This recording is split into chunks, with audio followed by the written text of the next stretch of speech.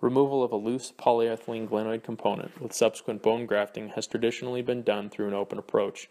Here we describe a technique for an all arthroscopic approach in a previous high demand athlete with profound glenoid osteolysis.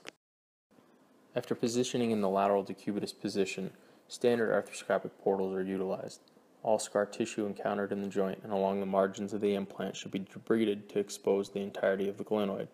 An arthroscopic probe or liberator can be used to assess the glenoid fixation, with subsequent removal occurring in either a piecemeal fashion with an arthroscopic biter or burr, or also through the use of transverse cuts with an osteotome.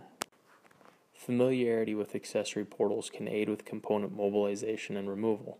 Use of a low posterior accessory portal here aided with appreciation for failure at the bone cement interface and subsequent loosening. An osteotome can then be used to remove the pegs or keel of the component to aid with extraction through the soft tissues. Extraction occurs through an extension of the anterior portal, taking care to avoid damaging the subscapularis tendon. To aid with fluid management, extension of the portal should occur just prior to component extraction. All loose particles and cement should then be removed to expose the remaining glenoid defect. After component explantation, this patient was noted to have a large cavitary defect and subsequent planned bone grafting was then performed. Placement of the bone graft can occur through two different methods.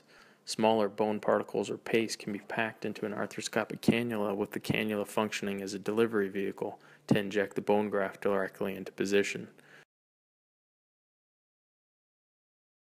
Additionally, corticocancellous bone chips can be inserted through a cannula and impacted into place with a bone tamp, reducing or completely stopping arthroscopic flow during the bone grafting portion of the procedure can aid with visualization and help to decrease a snowstorm effect from the loose bone graft material. Utilization of an acellular dermal allograft patch to aid with bone graft containment begins with placement of suture anchors at the 5 o'clock and 7 o'clock positions. Simple sutures are passed externally in the anterior and posterior inferior corners of the graft. With the aid of a non-penetrating clamp, the extended anterior portal is utilized to pass the graft into the joint. Sutures are then tied in a simple fashion. Superiorly, anchors are placed at 1 and 11 o'clock, and an arthroscopic suture passer is used to pass the corresponding sutures through the graft. Care should be taken when measuring the anterior, posterior, and superior inferior measurements of the graft to ensure proper graft tension, and if desired, additional anchors can be placed at the 3 and 9 o'clock positions. Because this technique avoids takedown of the subscapularis, early passive range of motion is allowed in all planes following this procedure. Early active range of motion and strengthening, however, should be avoided to aid with graft incorporation.